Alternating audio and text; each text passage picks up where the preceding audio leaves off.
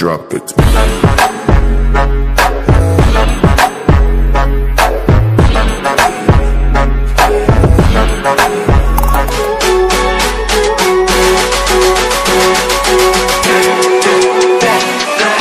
Teach me about fucking stars.